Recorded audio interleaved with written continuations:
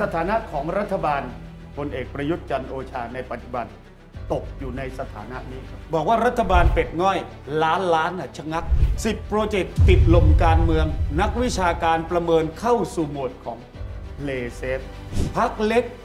กำลังเล่นเกมเพื่อกดดันรัฐบาลค่ะโดยเฉพาะตัวนายกรัฐมนตรี ในขณะที่ลุงตู่นายกรัฐมนตรีกำลังคิดหนักว่าจะเอายังไงดี ยังคุยกับพี่ใหญ่ ไม่รู้เรื่อง นั่นสะท้อนถึงการตัดสินใจที่ลังเลลังเล และทำให้รัฐบาลกลายเป็นเป็ดง่อย ไม่ค่อยกล้าตัดสินใจเศรษฐกิจนั้นหยุดชะงักจากสถานการณ์ของโควิดการปิดประเทศต่างๆ เราคาดหวังว่าหนึ่งเครื่องจักรก็คือการลงทุนของรัฐบาลนั้น จะสามารถที่จะทำให้เศรษฐกิจไทยนั้นขยับไปได้นะคะ แต่ว่าล่าสุดนั้นดูไม่เหมือนเป็นแบบนั้น เพราะว่าเริ่มที่จะเข้าเกียร์ว่างหรือว่าโหมด play safe กันแล้ว มีการตั้งชื่อให้ว่ารัฐบาลนี้จะเป็นรัฐบาลเป็ดง่อยค่ะพี่โอ สถานะของรัฐบาลพลเอกประยุทธ์จันโอชาในปัจจุบันตกอยู่ในสถานะนี้ครับ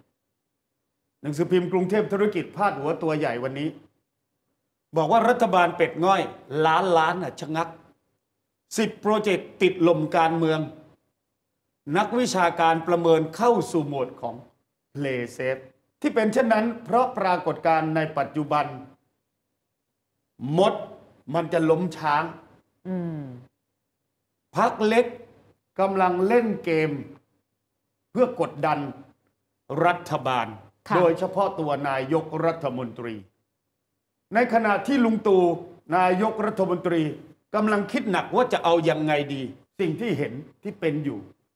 ยังคุยกับพี่ใหญ่ไม่รู้เรื่อง เหมือนหลายคนบอกว่าจะรู้เรื่องแล้วนะวัดพี่โอใจ หลายคนบอกว่าก็ดูเหมือนจะรู้เรื่อง ถามพลเอกประวิตยอยู่ได้ มีอะไรกับท่านเหรอ ใช่ คนถามคนนั้นนะคนนั้นก็ต้องบอกไม่มีสิอ่าอ่าในขณะที่ร้อยเอก ก็งัดข้อกับนายพลอยู่จนปัจจุบัน เรามาดูสถานะของรัฐบาลคุณวิลาสินีเพื่อให้ค่ะเห็นภาพ ในช่วงฮันนีมูนการจัดตั้งรัฐบาลพลเอกประยุทธ์จันทร์โอชามาจากพักเล็กทั้งหมด 10พัก พักเล็กเนี่ยหนึ่งถึงสี่เสียงมาเข้าร่วมรัฐบาล ตอนนั้นพลเอกประยุทธ์และพลเอกประวิตยมอบให้ใครไปทำหน้าที่กำกับดูแลพักเล็ก ร้อยเอกธรรมนัฐให้ผู้กองเป็นผู้กำกับดูแลพักเล็กใช่เพื่อค้ำยันเก้าอี้ของนายกท่านนายพลถูกคือนายกรัฐมนตรีพลค่ะเอกประยุทธ์จันทร์โอชาสามปีผ่านไปไวเหมือนโกหกพักเล็กถอนตัวไปอยู่ฝ่ายค้านในหนึ่งพักค่ะ คือเยาเต้ มงคลกิจ คุณมงคลกิจ ยุบพักเข้าสังกัดพักพลังประชารัฐไปสามพัก เหลือแปดพักที่ยังฝังตัวอยู่ในรัฐบาล แต่ถามจริงอยู่ในฝ่ายรัฐบาลจริงไหม ไม่มีใครรู้ค่ะเช็คเสียงกันตอนนี้ พบว่ามีเจ็ดพักที่จะหนุนพลเอกประยุทธ์จันทร์โอชา แต่หนึ่งในพักนั้นพักประชาธิปไตยใหม่ แสดงจุดยืนชัดเจน อยู่ข้างผู้กสุองรทินพิจารณ์กับทีม ยืนอยู่ฝั่งไหน ร้อยเอกธรรมนัฐพรหมพันฝั่งธ์ค่ะร้อยเอกไม่อยู่ฝั่งนายพลครับ ภาพที่เราเห็นในขณะนี้ พักที่อยู่ในมือของผู้กอง ชัดเจนที่สุด สุรทินพิจารณ์ค่ะสสบัญชีรายชื่อพักประชาธิปไตยใหม่นะคะ ท่านพลตำรวจเอกยงยุทธเทพจำนงสสบัญชีรายชื่อ และอดีตหัวหน้าพักประชานิยม ที่ยุบอืมพักไปเมื่อปี 63 แล้วก็ไปสังกัดกับพักพลังประชารัฐ ตอนนี้ไปอยู่ไหน อยู่กับร้อยเอกในพักเศรษฐกิจไทยครับสุรทินพิจารณ์เดิมทีเนี่ยจะใช้พัก ประชาธิปไตยใหม่เนี่ยเป็นพักสำรองสำหรับเผื่อเหลือเผื่อขาดค่ะสำหรับของร้อยเอกไว้ด้วยค่ะ อีกคนนึงที่หนุนร้อยเอกธรรมนัฐพิเชษฐ์สถิรราชวานก็นี่มีปัญหาเรื่องของน้ำภาคตะวันออกกันอยู่นะ อืมอืมและกำลังถูกพักพลังประชารัฐสอบอยู่ ในการแสดงจุดยืนและเข้าไปร่วมกับพักฝ่ายค้านค่ะ มงคลกิจ สสสุขสินธารานนท์สสบัญชีรายชื่อพักไทยศรีวิไลจัดตั้งกลุ่ม 16 นะคะ สถานการณ์ที่เป็นแบบนี้ ถ้าเป็นนายกลุงตู่จะมั่นใจได้ไหมว่าเสียงตกลงในปัจจุบันเนี่ย จะตกลงหนุนตัวเองไหมลังเลนะ ไม่แน่ใจพี่โออ่า นี่คือจุด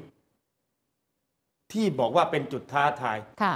มาดูในเสียงของพรรคเศรษฐกิจไทยที่มีการร้อยเอกขับสสจากพรรคพลังประชารัฐไปจัดตั้งใหม่ ร้อยเอกธรรมนัฐมีเสียงอยู่ในมือ 8ถึง10 เสียงค่ะ ที่เหลือ 6ถึง8ขึ้นอยู่กับใคร ขึ้นอยู่กับพลเอกประวิตยจะกดปุ่มครับซ้ายขวาอย่างเงี้ยเหรอพี่โออ่าอ่าผลที่ตามมาคือนายกรัฐมนตรีเนี่ยจึงต้องอาศัยพลเอกประวิตยมากำกับดูแล กลุ่มกบฏของผู้กองถูกไหม ใช่ใช่ที่เหลือต้องใช้สามเส เสมอเสกอเสอค่ะทำงานจึงจะได้ใจคน มาแลกกับการที่จะค้ำยันให้รัฐบาล มาดูปรากฏการณ์อีก ตอนนี้นี่คือพักเล็กครับ สายร้อยเอกธรรมนัฐพรหมเผ่านี่ชัดเจนมาก ใช่ คุณสุรทินพิจารณ์คุณพิเชษฐ์สิทธิรัชวานพักเล็กที่หนุนพลเอกประยุทธ์ล่ะนายแพทย์ระวีนะคะ มาชมาดลแล้วก็คุณศิลำพาเลิศนุวัตรสายที่รอเหวียงอยู่สองทางล่ะ คุณดำรงพิเดชคุณพีรวิทย์เรื่องรือรณภาพ แล้วก็คุณคุณคทาเทพ เตชะเดชเรืองกุล อย่าคิดว่าพักเศรษฐกิจไทยจะไปหนุนนายกรัฐมนตรีนะ ปรากฏการณ์ในการทานข้าวกันเมื่อวันที่สี่หัวหน้าพักคนใหม่คือคุณมนูนศิวาพิรมรัตน์เฮียนุผมเนี่ยนะค่ะไปร่วมอยู่ด้วย คุณมนูนเป็นใคร หัวหน้าพักเศรษฐกิจใหม่ มีสสบัญชีรายชื่อทั้งหมดกี่คนนะ6คน และถ้าหกคนนี้ผันแปรไปตาม หัวหน้าพักล่ะ ก็หายไป6สิคะ คราวนี้ลุงตู่งั่นแง่นครับ นี่คือตัวแปรครั้งสำคัญที่ทำให้บอกว่ารัฐบาลอยู่ในภาวะเป็ดง้อย และทำให้การทำงานในแง่นโยบาย ยักแย่ยักยันครับ คุณเกรียงไกรเทียนนกูลพี่ไก่ ประธานสภาอุตสาหกรรมแห่งประเทศไทยพูดชัดในเรื่องนี้เมื่อนักข่าวไปถามว่าเป็นยังไง ขณะนี้ภาคธุรกิจกำลังเผชิญกับปัญหาและความท้าทายหลายเรื่อง จึงคาดหวังให้รัฐบาลตอบสนองต่อการแก้ไขปัญหาต่างๆ ได้รวดเร็วตามสถานการณ์ โดยรีบผลักดันการตัดสินใจที่ขับเคลื่อนโครงการให้เศรษฐกิจเดินหน้าต่อไปได้ เพราะว่าความล่าช้าที่เกิดขึ้นเนี่ยยิ่งทอดเวลาออกไปเท่าไหร่ จะเกิดความเสียหายและเป็นต้นทุนที่ภาคเอกชน และประชาชนต้องแบกรับเพิ่มขึ้นโดยไม่จำเป็น ทั้งยังลดศักยภาพและความสามารถในการแข่งขันของประเทศ ถ้ารัฐบาลกลายเป็นเป็ดง่อย ปัญหาตรงนี้จะตามมา เอกชนและประชาชนต้องรับภาระเพิ่มขึ้นโดยไม่จำเป็น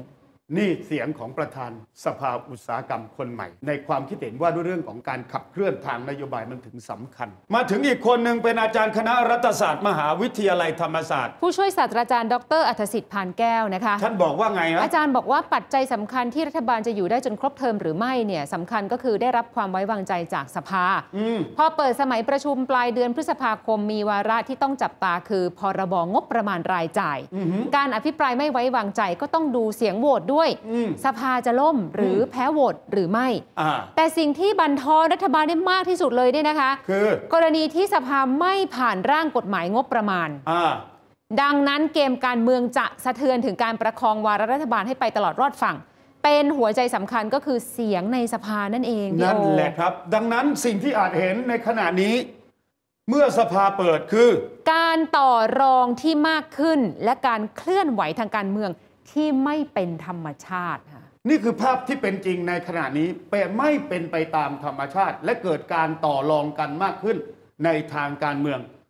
และผู้บริหารประเทศก็เกิดภาวะความสั่นไหว ใจมันสั่นเสียวสันหลังว่าศาสตราจารย์ ชาติชายณเชียงใหม่ คณะพัฒนาทรัพยากรมนุษย์สถาบันบัณฑิตพัฒนาบริหารศาสตร์ หรือว่านิด้าอดีตกรรมการยกร่างรัฐธรรมนูญ ก็วิเคราะห์ในเรื่องนี้ได้น่าสนใจ บอกว่าหลายเรื่องเลยนะคะ รัฐบาลออกอาการ play safe พี่โออืมลดกระแสการประมูลท่อส่งน้ำ EEC อืมที่เราติดตามกันเนี่ยหรือว่าจะเป็นการเดินหน้าแบบมีเงื่อนงำอย่างเช่น การเห็นชอบข้อตกลงที่มีผลต่อคดีฟ้องร้องบริษัทฟิลิปมอริสอืมซึ่งเป็นประเด็นที่รัฐบาลชี้แจงได้ในข้อกฎหมาย และอธิบายสังคมได้ แต่ขึ้นกับรัฐบาล จะเลือกอธิบายหรือไม่นั่นเอง นั่นสะท้อนถึงการตัดสินใจที่ลังเลลังเล และถ้าตัดสินใจลังเลลังเลมันจะเกิดอะไรขึ้นครับ นี่คือสิบโครงการที่เสียงของรัฐบาลแตก และทำให้รัฐบาลกลายเป็นเป็ดง่อย ไม่ค่อยกล้าตัดสินใจ เดินก็ช้า โครงการแรกคือการควบรวมระหว่าง True กับ d t แท250,000 กว่าล้านบาท เอาค่ะยังไง AIS เขาก็ค้าน กสทช ก็รอพิจารณา มีการตั้งอนุต่างๆ ขึ้นมาเยอะแยะมากมายไปหมดเลย นั่นแสดงถึงการตัดสินใจที่ไม่ได้ข้อยุติ ต่อมาเรื่องภาษีหุ้น กระทรวงการคลังเสนอให้มีการเก็บภาษีตามกฎหมายที่บังคับใช้มาตั้งแต่เดิมแต่เดิม แต่ตกลงจะเก็บไม่เก็บ ถ้าไม่เก็บกระทรวงการคลังตอนนี้ต้องบอกว่า เงินรายได้จะไม่พอกับรายจ่ายจากการจัดเก็บภาษี และผลที่ตามมา งบจะขาดดุลไปเรื่อยๆเรื่อยอืมๆจัดเก็บภาษีธุรกิจเฉพาะ 0.1%ค่ะนี่ก็ยังไม่เป้าหมายวคือจะคืบหน้จัดเก็บไว้ตั้งแต่ปี 65 แต่ถึงตอนนี้สภาธุรกิจตลาดทุน และนักลงทุนในตลาดหุ้นคัดค้าน ผลที่ตามมากฎหมายนี้ ใส่ไว้ในเก๊ะเหมือนเดิม โครงการท่อส่งน้ำภาคตะวันออกที่มีการแข่งกันประมูลรอบแรก เจ้าเดิมเสนอ 3,000 กว่า ถ้ารวมก็เป็น 6,000ค่ะ คือ East Water ค่ะ เจ้าใหม่เอกชนเสนอเข้าไปหมดไม่กลัวช้าง เสนอรอบแรก 6,000 กว่าล้าน รอบหลังเขาล้มไปใหม่ ประมูลแข่งกัน รอบนี้ตาแตกกันทั้งตลาดครับ คุมทรัพย์น้ำในภาคตะวันออกที่จ่ายเงินให้หลวง 500 600 ล้านในตลอด 30 ปีทะลุขึ้นไปเท่าไหร่รู้ไหม25,693 ล้านบาท East Water ฟ้องศาลปกครองอืม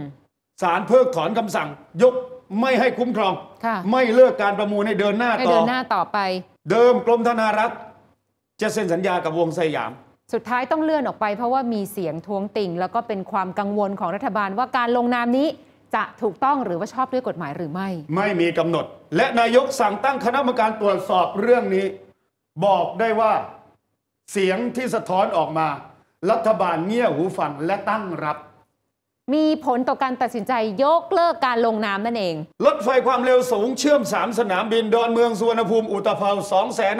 257,464 ล้าน ถึงตอนนี้ยังยักแย่ยักยัน และกลายเป็นคำถามโตโตๆเมื่อผู้รับสัมปทานจากการประมูลรอบนี้คือ CP ขอเยียวยาจากผลกระทบโควิด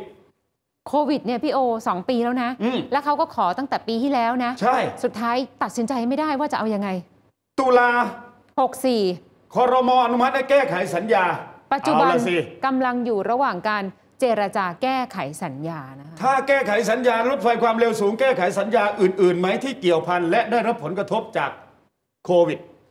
แต่คุณผู้ชมคะไม่ใช่เพียงแค่ 3 สนามบินนะ เพราะว่า 3 สนามบินเนี่ยเป็นโครงสร้างพื้นฐานของโครงการ EEC ถูกนั่นหมายความว่าถ้าหาก 3 สนามบินเชื่อมแล้วเนี่ยมันไปไม่ได้ EEC ก็เกิดไม่ได้นะคะ แม้แต่สนามบินอุตภเปาก็เดินหน้าไม่ได้ เห็นไหมครับ รัฐบาลจะตัดสินใจยังไงเอาไว้เคลียร์ต่อมาเรื่องรถไฟสายสีเขียวโอ้จะเปิดสัมปทานให้เดินรถต่อยาวกันไปแลกค่ะกับ การคิดค่าโดยสาร 65 บาทตลอตดลอดสายสาย ไม่ใช่ทุกตลอดสายนะ ยาวสูงสุดยาวคือสูงสุด65 บาท ใช่ค่ะที่เหลือแต่ละช่วงไม่ใช่คิดถึง 65 บาทตลอดสายนะเธอค่ะคอสช ตั้งกรรมการเจรจากับ BTS มายาวนานตั้งแต่คอสชค่ะ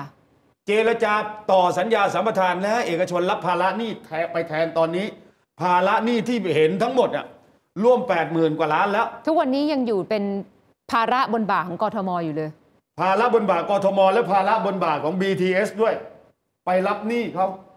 แทนไม่ได้เงินมาใช่แต่แบกค่ะเงินอยู่จากค่ะการเดินรถคอรมอเห็นชอบตั้งแต่ปี 62 นั่น แต่พอกระทรวงคมนาคมคัดค้านในคอรมอถึงตอนนี้โครงการนี้ยกยอดไป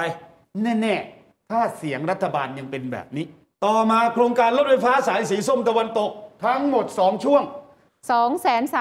235,320 ล้านบาทค่ะ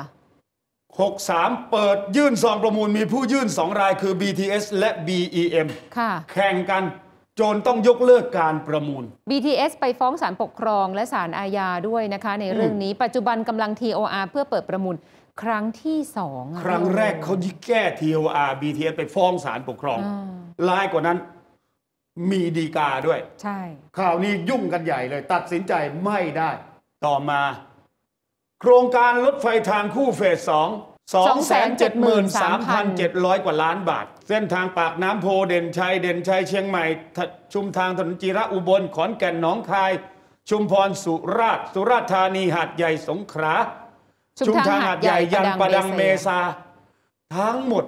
ถึงตอนนี้ปรับงบประมาณรอการประมูลกันใหม่ จริง ๆ แล้วสำหรับโครงการรถไฟทางคู่เฟสที่2เนี่ยนะคะ คาดว่าจะเสร็จแล้วนะพี่โอถ้าหากอืมได้ทำได้จริง ๆ แล้วก็จะเป็นหนึ่งโครงการที่ช่วยกระตุ้นเศรษฐกิจในพื้นที่ด้วย เหตุมันมีปัญหาของมันมาจากเดิมที่ประมูลทางคู่กันไง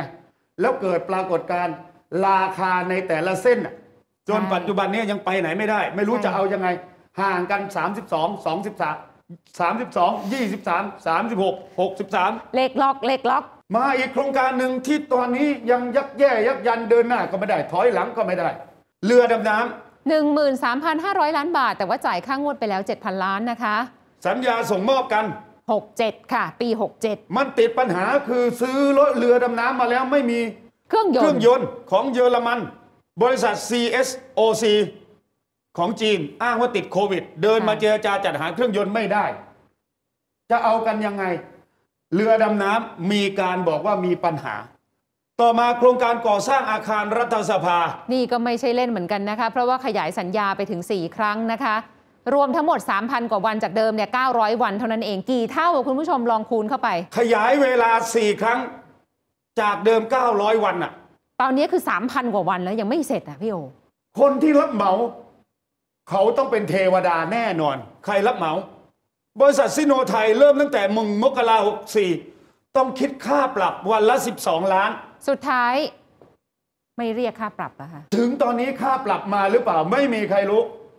งบประมาณเพิ่มขึ้นจาก 12,280 ล้าน เป็นเป็นเกือบ20,000 ล้านคุณผู้ชมร้าอายคารกรัว่าฐนั้สนภา สถานที่ที่ประชุมของรัฐสภาที่ออกกฎหมายในบ้านเราเนี่ยออกกติกาในบ้านเราเนี่ยรูรั่วหลายจุดฝนตกทีนึงเปียกปอนหมด ร้องให้มีการตรวจสอบการทุจริต และมีการยื่นไปปปชเกือบสิบเรื่อง ปัจจุบันยังทำอะไรการไม่ได้ มาอีกเรื่องหนึ่งที่ดินเขากระโดงสารดีกาพิพากษา ว่าเป็นที่ของการรถไฟ ผู้ใดจะออกเอกสารสิทธิ์ไม่ไม่ได้ได้ ปัจจุบันที่ดินมีปัญหา 5,000 กว่าไร่ แทนที่จะไปเอาที่นั้นคืนมา ปล่อยให้ที่เหล่านั้นมีการขายเปลี่ยนมือกัน ร้ายกว่านั้นอีกการรถไฟ แทนที่ว่าจะไปยืนแนวลังสังวดชี้แนวเขตโน่นนี่นั่นกลับกลัฟ้บองไปกลัฟ้องบกรมที่ดินต่อศาลปกครองเรียกค่าเสียหายเท่าไหร่ 700 กว่าล้านนะคะเรื่องนี้เป็นเรื่องใหญ่ครับ เพราะรัฐมนตรีคือกำกับดูแลของการรถไฟ รัฐบาลเพิกเฉยต่อการตัดสินวินิจฉัยของศาลฎีกา ปัญหาเหล่านี้สะท้อนออกมาได้เรื่องเดียวครับ นั่นคือเสถียรภาพของรัฐบาลในการทำงาน และกล้าตัดสินใจ ในเรื่องที่มันเป็นปัญหาอยู่ ที่จะขับเคลื่อนด้านการลงทุนการพัฒนา และถ้าเดินหน้าต่อไป ในเงื่อนไขที่กลัวเสียงแตก ประเทศนี้เดินหน้ากันไม่ได้ครับ